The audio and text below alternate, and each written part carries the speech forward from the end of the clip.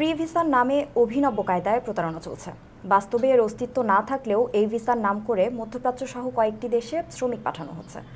বৈধ ভিসা ও work permit না থাকায় এসব দেশে গিয়ে কোনো কাজ পাচ্ছেন না শ্রমিকরা। ফলে প্রবাসে অমানবিক জীবনযাপন করতে বাধ্য হচ্ছেন অনেকেই। স্বাগত জানাচ্ছি এই সপ্তাহের প্রবাস টাইম সংবাদ পর্যালোচনায়। আপনাদের সঙ্গে আছি আমি নাইছিয়া জিনিমি আর আজ আমাদের আলোচনার বিষয় ফ্রি ভিসার প্রতারণা। আর এ বিষয়ে কথা বলতে আমাদের সঙ্গে উপস্থিত রয়েছেন প্রবাস টাইমের সম্পাদক মোহাম্মদ বাইজিদ আল হাসান। হাসান, স্বাগত আপনাকে। আপনাকে প্রশ্ন করার আগেই আমি একটি জিনিস নিয়ে কথা শুরু করব যে এই যে ওমানে কিছুদিন আগে নতুন একটি আইন হলো, যে শ্রম আইন বলে, এবং এটি খুবই শ্রমিক বান্ধব আইন হিসেবেও কিন্তু খ্যাতি পেয়েছে। এতে জরিমানার বিষয়টিও উল্লেখ রয়েছে যে সঠিক টাইম মতো বেতন পরিশোধ না করলে সেই ক্ষেত্রে জরিমানা হবে। তো এটি আসলে কার্যকর কতটুকু হয়েছে? ধন্যবাদ নিমি আপনাকে। দেখুন, ওমানের যে আইনটা হয়েছে, এটি নিঃসন্দেহে অনেক প্রশংসনীয় এবং এতে আমাদের প্রবাসীরা অনেক উপকৃত হবেন। কিন্তু এখানে একটা প্রশ্ন হচ্ছে, আমাদের বাংলাদেশ থেকে যে সকল প্রবাসীরা ওমানে যাচ্ছেন, এখানে যাওয়ার মধ্যে একটা গ্যাপ থেকে যায়। আমাদের বাংলাদেশি প্রবাসীরা অধিকাংশ হচ্ছে ফ্রি ভিসা যাচ্ছেন সেখানে।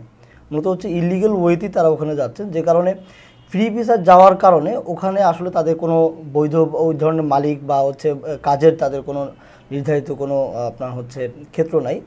সো তারা যখন বেতন পাচ্ছে না, তখন কিন্তু তারা আসলে এই অভিযোগটা দেওয়ার মতো তাদের কোনো ক্ষেত্র থাকছে না।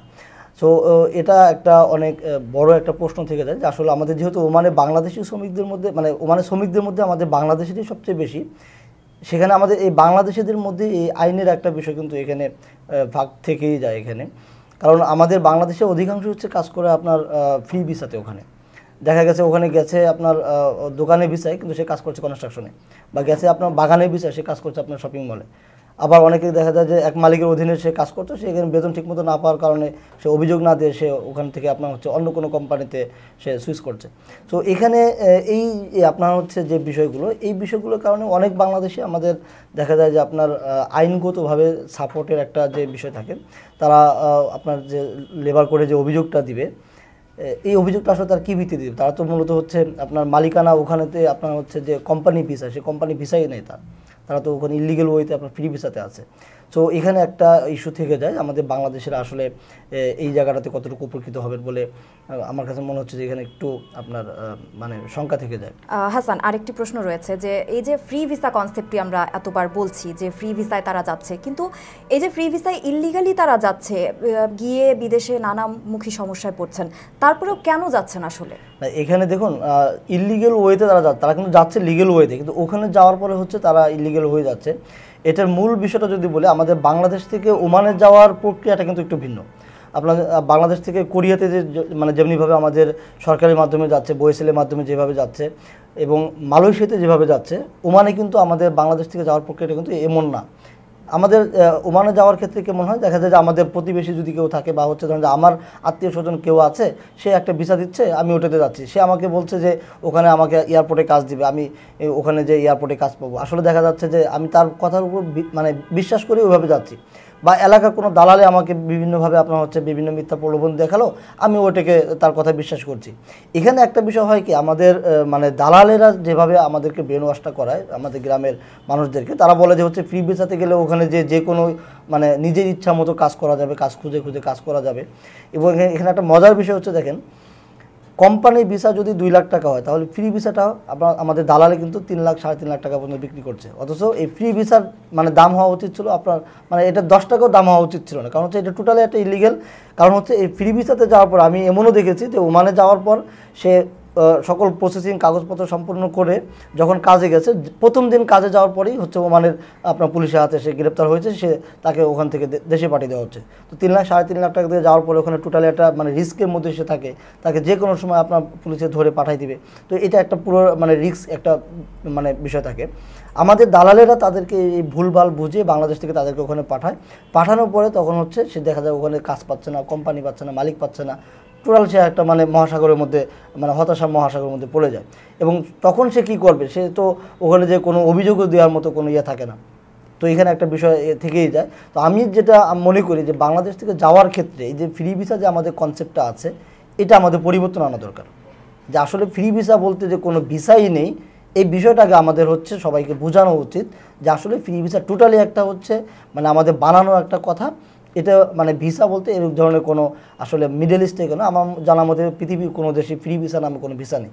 মূলত হচ্ছে বাংলাদেশ থেকে বা সারা পৃথিবীর যে লেবার ল যে আইনগুলো আছে, যে ওমানে যদি কোনো একটা কোম্পানির ধরেন যে একটা বাংলাদেশি বা যে কোনো দেশেরই হোক না কেন একটা প্রতিষ্ঠান আছে, সেই প্রতিষ্ঠানে ধরেন যে আমি যদি উদাহরণস্বরূপ আপনাকে বলি যে একটা হোটেলের জন্য মানে একটা হোটেল দেওয়া হয়েছে, ধরুন আমি একটা হোটেল দিয়েছি, আমার হোটেলে আপনার দশজন ওয়ার্কার লাগবে। তার মধ্যে দুইজন হচ্ছে আমার বাব- বাবুর্চি লাগবে, দুইজন ওয়েটার লাগবে, একজন হচ্ছে আপনার কেশিয়ার লাগবে। এই ধরনের বিভিন্ন আমার হচ্ছে ক্যাটাগরিতে আমার দশজন লোক লাগবে। ফ্রি ভিসাটা হচ্ছে আসে যেভাবে, এই দশজন লোক আমি চাচ্ছি যে বাংলাদেশ থেকে দশজন লোক নিব। কেননা বাংলাদেশেই একমাত্র ওমানে যায়, যারা হচ্ছে টাকা খরচ করে ওমানে যায়। এছাড়া পাকিস্তানি বা ইন্ডিয়ান, ফিলিপিনো, ওরা কিন্তু হচ্ছে ওদেরকে বিমানের টাকাটা পর্যন্ত দিয়ে ওদেরকে নিতে হয়। আর ইন্ডিয়া থেকে যারা যায়, ওদেরকে ওদেরও এরকম। ওদেরকে আপনার হচ্ছে বিমানের টিকিট, তারপর ভিসা, সমস্ত সব খরচ দিয়ে নিতে হয়। কিন্তু একমাত্র টাকা দিয়ে বাংলাদেশিরা যেয়ে থাকে কিন্তু ওমানের আইন অনুযায়ী আপনার একটা কোম্পানিতে যদি দশজন শ্রমিক লাগে, তাহলে আপনি দশজন শ্রমিকই একটা দেশ থেকে নিতে পারবেন না। ওখানে কোঠাভাগ করা আছে যে আপনি একজন ওমানি রাখতে হবে। যেমন কেশিয়ারের যে ইয়েটা, সিনিয়র যে পোস্টটা, এটা আপনাকে হচ্ছে ওমানি রাখতে হবে। এরপর ধরেন দুইজন আপনাকে ইন্ডিয়ান নিতে হবে, একজন পাকিস্তানি, বাকি পাঁচজন ধরেন আপনি বাংলাদেশে নিলেন। এইভাবে ওমান সরকার আপনাকে কোঠা ভাগ করে দিচ্ছে। কিন্তু আপনি করছেন কি, ওখানে ওয়াস্তা বলে, বাংলাদেশে যেমন আপনার হচ্ছে ঘুষ বলে, ওখানে ওয়াস্তা বলে, এই ওয়াস্তা দিয়ে তখন ওই মালিকে করছে কি, যে যে কোঠা ভাগ করা আছে, যে আপনার দুইটা পাকিস্তানি, একটা ইন্ডিয়ানি বা একজন ওমানি, ওইগুলোকে সব ওয়াস্তা দিয়ে আপনার বাংলাদেশি ভিসা বানাচ্ছে। এই ওয়াস্তাতে আপনার কিছু টাকা খরচ হচ্ছে এবং ভিসা পারপাসে ওমান সরকার একটা ফি আছে। এই সব কিছু মিলে যখন দেখা যায় যে, আপনার সবগুলো দশটা ভিসাকেই আপনার সে বাংলাদেশি বানাইছে। বানানোর পরে তখন সে বাংলাদেশে দশটা ভিসা বিক্রি করতেছে। এক একটা ভিসা দুই লাখ, তিন লাখ টাকা করে বিক্রি করতেছে। এবং এই ভিসাগুলো আমাদের বাংলাদেশে কিন্তু সরাসরি আসে না। দুইটা, তিনটা হাত বদল হয়ে দেখা গেছে। আপনার দালাল বিভিন্ন, আপনার যত হাত বদল হচ্ছে তখন এই ভিসার আপনার ভিসার দামটাও বৃদ্ধি হচ্ছে। দুই লাখ টাকা ভিসা দেখা যায়, তিন লাখ, চার লাখ টাকা পর্যন্ত হয়ে যাচ্ছে।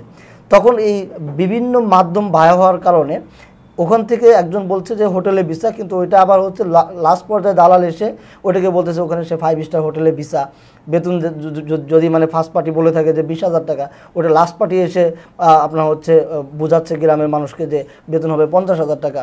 আবার অনেকে বোঝায় যে বাংলাদেশে যেমন হোটেলে আপনার হচ্ছে খাওয়া দাওয়ার পরে আমরা বকশিস দেই ওখানে ওরকম আপনার টিপস দেয়। বাংলাদেশে যেমন হচ্ছে আমরা দশ টাকা, বিশ টাকার নিচে টিপস দেই না। তো ওখানে আমরা হচ্ছে এক টাকা হচ্ছে বাংলাদেশে আপনার হচ্ছে প্রায় তিনশো টাকা। তো ওখানে যদি এক টাকা না যদি মানে এক টাকার অর্ধেকও দেয়, পাঁচশো পয়সাও দেয়, তাহলে তো অনেক টাকা। তো এইভাবে দৈনিক যদি আপনার হচ্ছে দশজন, বিশজন করে আপনার হচ্ছে বকশিস দেয়, তাহলে তো অনেক টাকা হয়ে যায়। বেতন তো এখানে কোনো মানে ফ্যাক্ট না।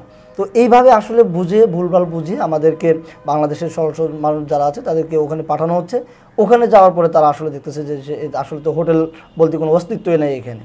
তখন সে আসলে কিছু মানে কোনো উপায় একটু আপনাকে থামাবো যে আপনি বললেন যে ভারত কিংবা অন্যান্য দেশের কথা যদি বলি অন্যান্য দেশ থেকে যখন তারা কর্মী নিচ্ছে তখন কোনো টাকা লাগছে না বা আলাদা কোনো ফি লাগছে না। তাহলে বাংলাদেশিরা যখন যাচ্ছে তখন কেন দালালের খপ্পরে পড়ে তারা এত টাকা ব্যয় করছে? আসলে এখানে আহ, মানে যুক্তিসঙ্গত কোনো কথা তারা বলছে কিনা যে এত টাকা আমি নিচ্ছি এই কারণে আমি যে ইয়ে করছি? এটা এটা আসলে আমাদের মানে সরকারি মাধ্যম তো নেই। মানে যদি বলি যে যদি বিষয়টা এমন হতো, যেমন আমার কোরিয়াতে এখন যাচ্ছে বইসেলের মাধ্যমে আপনার ইন্টারভিউ নিয়ে যাচ্ছে, এখানে আপনার কোনো ঝামেলা নেই।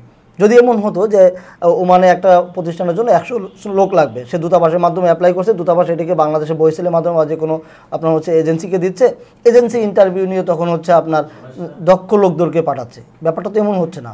হচ্ছে কি, ওখানে আপনার একজন লোক লাগবে, সে সরাসরি দূতাবাস থেকে পেপারগুলো অ্যাটাস্টেশন করে বাংলাদেশে সে সরাসরি বিক্রি করে দিচ্ছে। এখন এই লোকটি আসলে দক্ষ কিনা সে এই ব্যাপারে মানে কোনো কাজ জানে কিনা বা আসলেই মানে তাকে কি বলা হচ্ছে, এটা তো সরাসরি মালিক পক্ষ তো এখানে কথা বলতে পারছে না। কারণ যিনি যাবেন আর যিনি লোক নিচ্ছেন, এর মাঝখানে কিন্তু অনেকগুলো লোক থাকে এখানে। আমরা যাদেরকে দালাল বলি বা ব্রোকার বলি, এরা কিন্তু অনেক ধরনের আপনার মিস ইনফরমেশন দিচ্ছে তাদেরকে। কিন্তু হাসান, এখন কিন্তু দক্ষতা অর্জনের অনেক রকম সহজ পদ্ধতি বাংলাদেশ সরকার কিন্তু করে দিয়েছে। তো যেখানে দেখা যাচ্ছে অনলাইনে ঘরে বসেও তারা কিন্তু তাদের দক্ষতা বৃদ্ধি করতে পারছে। তাহলে ওই জায়গাটাতে তারা না গিয়ে কেন মানে বেআইনিভাবে কেন যেতে চায়? এখানে মজার বিষয়টা হচ্ছে, দেখুন, আমাদের নিজেদেরই মানে আমরা অনেক সময় সরকারকে দোষারোপ করি। সরকার কিন্তু আমাদেরকে অনেক ধরনের ব্যবস্থাপনা করে রেখেছেন। কিন্তু আমরা, দেখুন আপনি বিএমইটি ক্লিয়ারেন্সের জন্য কিন্তু নিয়ম আছে যে তিন দিনের একটা মানে তিন দিন না, পাঁচ দিন একটা ট্রেনিং করতে হয়। ওটা করলেই হচ্ছে আপনাকে বিএমইটি ক্লিয়ারেন্স যে কার্ডটা আছে ওইটা দিবে। ওখানে তারা হচ্ছে বিমানে কীভাবে ওঠে, বিমানে আমাদের অনেক মানে মজার বিষয় হচ্ছে দেখবেন যে অনেক সময় এরকম দেখা যায়, বিমানে ওঠার পরে সে সিগারেট খাচ্ছে। বিমানে টয়লেট তো আমাদের মানে এমনি সাধারণ টয়লেটের মতো ওই টয়লেট কীভাবে ব্যবহার করবে এবং যে দেশে সে যাচ্ছে, সেই দেশের আবহাওয়াটা কেমন মানে প্রি কাউন্সিলিং যে বিষয়টা থাকে, এটা কিন্তু ওই ট্রেনিংয়ের মাধ্যমে দেওয়ানো হয়। কিন্তু আমাদের যারা যাবেন, যারা নতুন, তারা কিন্তু এই ট্রেনিংটা পর্যন্ত, এটা তাদের নিজেদের জন্য উপকার, কিন্তু তারা এখানে কি করে? ঘুষ দিয়ে তারা হচ্ছে ওই ট্রেনিং মানে ট্রেনিংটা না নিয়ে আপনার ইয়ে করছে সার্টিফিকেট নিচ্ছে এবং হচ্ছে তারা দেখা যাচ্ছে যে বিএমটি কার্ডও পেয়ে যাচ্ছে। তো এখানে আমাদের নিজেদেরই মানে বলি যে আমরা আসলে এমন হয়ে গেছে যে অনিয়ম করতে পারলে নিজের কাছে অনেক মানে গর্ব মনে হয়। ব্যাপারটা এরকম একটা মানে সিস্টেম হয়ে গেছে তাহলে সচেতনতা বৃদ্ধির যে বিষয়টি রয়েছে আসলে সচেতনতা বৃদ্ধি করাতে কি কোথাও ঘাটতি রয়েছে কিনা? আরও কিছু পদক্ষেপ নেওয়া যেতে এখানে দেখুন তো আমাদের আসলে যেহেতু আমরা মানুষটাই জাতিগতভাবেই এমন আমাদের এখানে সচেতনতা বাড়ানোর ক্ষেত্রে আমাদের প্রবাসী কল্যাণ মন্ত্রণালয়ের মাধ্যমে এখানে নিঃসন্দেহে এখানে ঘাটতি আছে। এখানে আরও অনেক কাজ করা উচিত। মানে আমাদের যারা গ্রামগঞ্জে আছে, এদেরকে বিভিন্ন ক্যাম্পেইনের মাধ্যমে, টেলিভিশনের মাধ্যমে সব কিছুর মাধ্যমে যদি মিডিয়ার মাধ্যমে সচেতন করা হয়, তাহলে এটা একটা পরিবর্তন আসবে। হাসান, আরেকটি, এটা সর্বশেষ প্রশ্ন যেটি আমি করব, সেটি হচ্ছে যে আমি বিভিন্ন দিন ধরে কিন্তু বেশ কয়েকদিন ধরে দেখছিলাম যে ওমানের যে যারা রয়েছেন শ্রমিকরা, তারা বেতন পাচ্ছেন না। পাঁচ থেকে ছয় মাসও অনেকে বেতন পাচ্ছেন না। তো এই যে যারা বেতন পাচ্ছেন না, তাদের এই দীর্ঘদিন আসলে ওখানে তারা তো ইলিগালভাবেই বলা যেতে পারে যে ইলিগালভাবেই রয়েছেন। তাহলে তারা দেশে ফেরার দিকে কেন আগ্রহী নয়, যখন তারা ওই দেশে এতটা মানে কষ্টে জীবনযাপন করছেন? এখানে দেখুন, আমাদের বাংলাদেশ থেকে যারা যাচ্ছে না কেন, তারা কিন্তু কেউই আপনার নিজেদের টাকা দিয়ে যাচ্ছে না। সে হয়তো বা পরিবারের আপনার গরু বিক্রি করে বা বইয়ের গহনা বিক্রি করে বা ভিটে মাটি বিক্রি করে আপনার তিন লাখ, সাড়ে তিন লাখ টাকা খরচ করেই ওখানে যাচ্ছে। ওখানে যাওয়ার পর আপনার এই তিন লাখ টাকা উঠাতে যারা ফ্রি ভিসাতে যাচ্ছে, তাদের কমপক্ষে আপনার দুই বছর সময় লেগে যায়। কারণ সে যদি ওখানে যায়, আমি বাংলাদেশ থেকে যাওয়ার পরে ওখানে তার সকল কাগজপত্র সব কিছু ঠিক হতে পনেরো থেকে বিশ দিন সময় লেগে যায়। এরপরে নতুন কোথাও কাজ খুঁজে নিতে, ধরেন যে মোটামুটি আপনার এক মাস লেগে যায়, তাকে হচ্ছে সকল প্রসেসিং সম্পূর্ণ করে একটা কাজে জয়েন করতে। কাজে জয়েন করার পরে বেতন পাবে হচ্ছে তিন মাস পর। তো তিন মাস পরে যদি বেতন পায়, সর্বোচ্চ বেতন আমাদের যারা বাংলাদেশ থেকে যাচ্ছে- যদি অদক্ষ হয়, তাহলে ধরেন যে বিশ হাজার টাকার মতো সর্বোচ্চ বেতন পাবে। মানে মানে একশো রিয়াল যদি বলি, একশো রিয়াল বিশ থেকে পঁচিশ হাজার টাকার মতো আপনার হচ্ছে বেতন পাবে। এতে তার নিজের খাওয়া, নিজের পকেট খরচের টাকা, তার মোবাইলের বিল এ যে সম্পূর্ণ করে বাংলাদেশে সে সর্বোচ্চ দশ হাজার টাকা পাঠাতে পারবে। এভাবে সে দশ হাজার টাকা করে যদি মাসে আয় করে, তাহলে দুই বছর তার দুই লাখ টাকা, তার কিন্তু তিন লাখ টাকা উঠতেছে না। আবার হচ্ছে দুই বছর পর তার ভিসা নবায়ন করতে কিন্তু আপনার দেড় থেকে দুই লাখ টাকা লেগে যাচ্ছে। তাহলে দেখা যাচ্ছে সে যে দুই বছর মানে ওখানে শ্রম দিচ্ছে টোটালি তার হচ্ছে জিরো আর যদি আপনার কোম্পানি ভিসাতে যায়, সে যদি ওখানে পনেরো হাজার টাকাও বেতন পায়, তাও কিন্তু তার এখানে অনেক লাভ। কারণ হচ্ছে কোম্পানি তার মেডিকেল খরচ বহন করছে, তার থাকা, খাওয়া এবং দুই বছর পর তার দেশে আসা এয়ার টিকিট তারপরে যে দেশে আসবে তিন মাসের ছুটি ইন টোটাল সকল কিছু কিন্তু কোম্পানি দিচ্ছে। তাহলে দেখা যাচ্ছে ফ্রি ভিসাতে একজন ব্যক্তি যদি পঞ্চাশ হাজার টাকা মাসে আয় করে, তাহলে সে মাসে দেখা গেছে মানে যতটুকু লাভবান হচ্ছে কোম্পানি ভিসায় যে সে যদি বিশ হাজার টাকাও বেতন পায় তাহলে কিন্তু তার থেকে ওই পঞ্চাশ হাজার টাকা থেকেও বেশি সে সেভ করতে পারছে যিনি কোম্পানি ভিসাতে গেছে আমি যেটা বলব যে ফ্রি ভিসাতে যদি বাংলাদেশ থেকে এক লাখ টাকার অফার দেওয়া হয় তাহলে ফ্রি ভিসাতে না যে কোম্পানি ভিসায় যদি বিশ হাজার টাকা বেতনের কাজ পাওয়া যায় তাহলে আমি মনে করব যে সেটাতেই যাওয়ার বেটার হবে।